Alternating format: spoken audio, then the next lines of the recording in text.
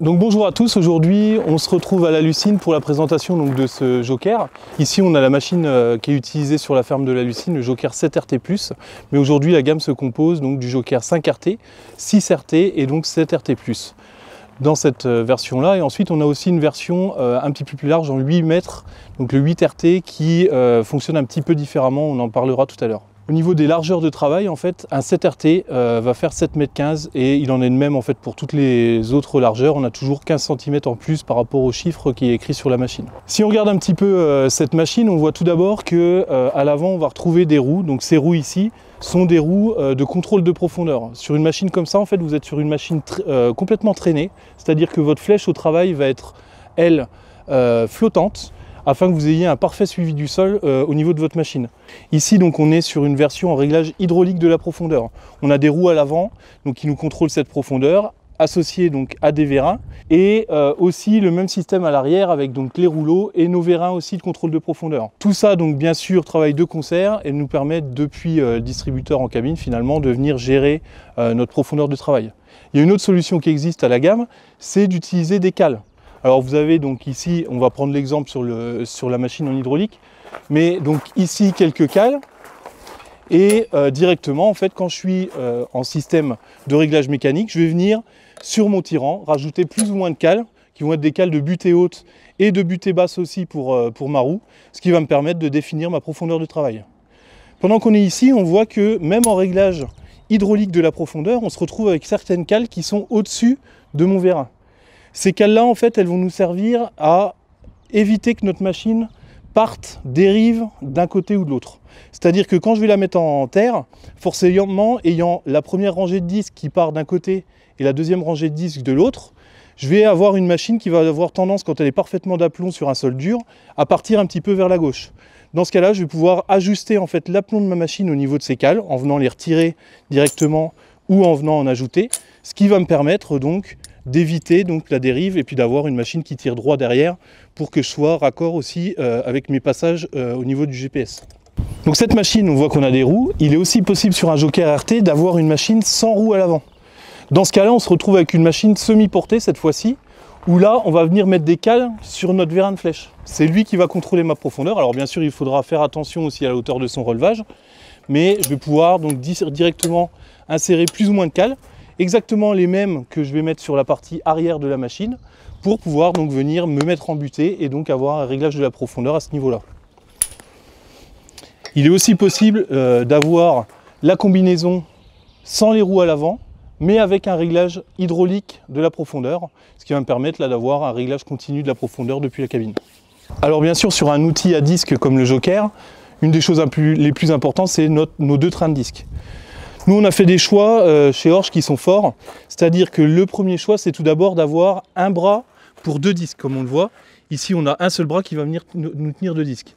Le gros intérêt euh, d'avoir ce système-là, c'est que ça va me permettre d'avoir forcément deux fois moins de bras dans ma machine, donc deux fois plus de dégagement, et de pouvoir passer dans des grosses quantités.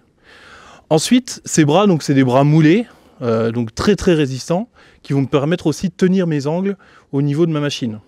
Ce qui va me permettre de tenir les angles aussi, c'est ce support. Chez Horsch, on a fait le choix du coup d'avoir un bras pour deux disques qui nous permet d'avoir un grand support, un support large de 40 cm de large, monté avec des élastomères, qui me permet de faire euh, suspension et euh, donc euh, ressort au niveau de, de mon système de disques.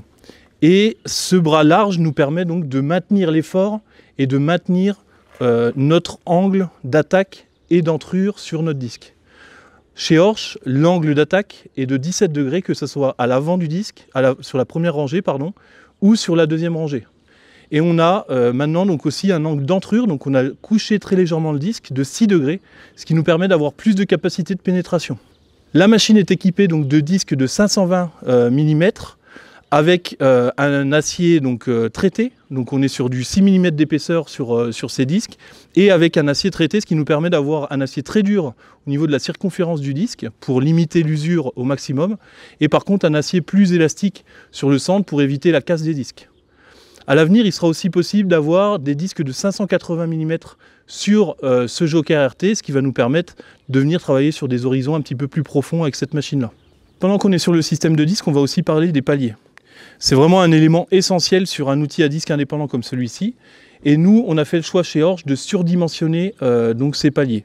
On va se retrouver avec un axe euh, au niveau de notre palier de 40 mm, donc euh, vraiment quelque chose de, très, très dimensionné, et avec un palier donc avec du roulement à double rouleau conique.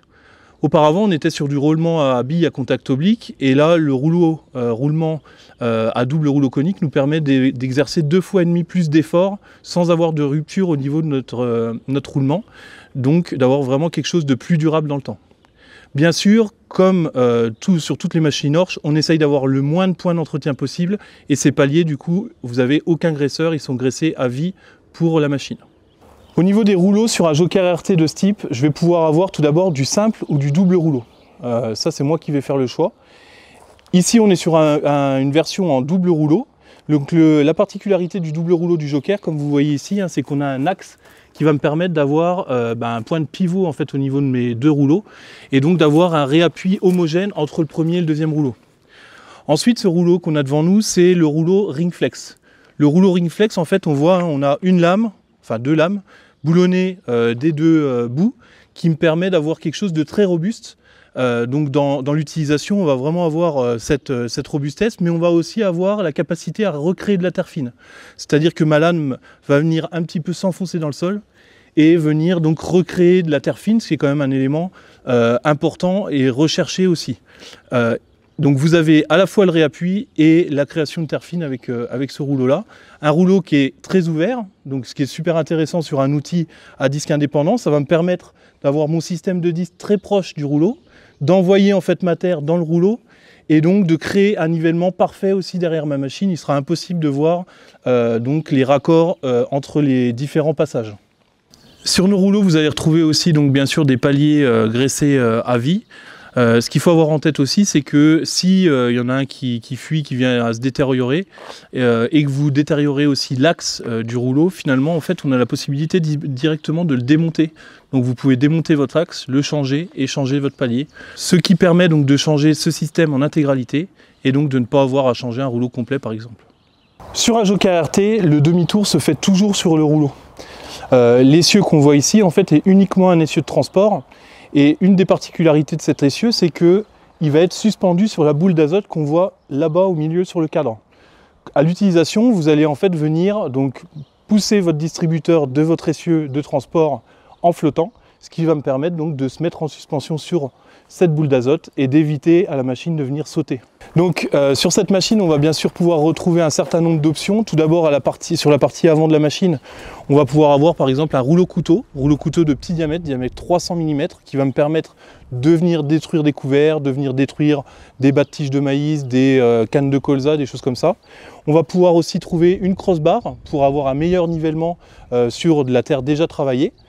Donc ça c'est une des possibilités. Tout ça va être en hydraulique avec euh, sa propre ligne finalement, euh, donc euh, indépendant et directement utilisable depuis la cabine. Cette machine est équipée aussi en freinage pneumatique, donc au niveau des freinages on peut choisir chez nous entre le pneumatique et l'hydraulique. Les deux sont en double ligne, ce qui nous permet d'avoir d'être en règle au niveau de la réglementation et de l'homologation de la machine.